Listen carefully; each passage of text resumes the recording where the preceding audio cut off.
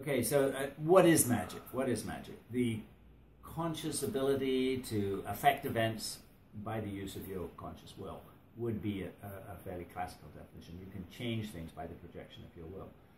A, um, I, as a scientist, uh, initially found ma- magic a hard concept to deal with, and, and many people I deal with today uh, don't really like the word magic because it, it, it, it, speaks of strange things to them which, which are not very scientific.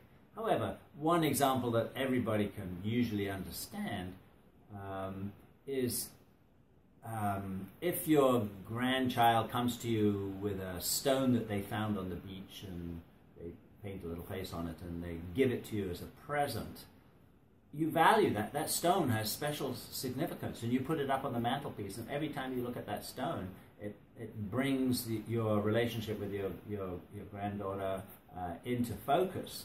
And uh, so the stone, in essence, has a magical property of doing that. And that, so any kind of present takes on uh, uh a nature of where it's come from. And so it's not a big leap to say, well, okay, maybe I can imbue some physical object with some kind of magical essence like that and send it off into the world.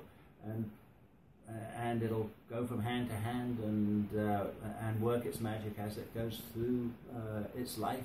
It may last for thousands of years, who knows? I mean, there are objects today that we still feel somewhat magical when we come across them. So.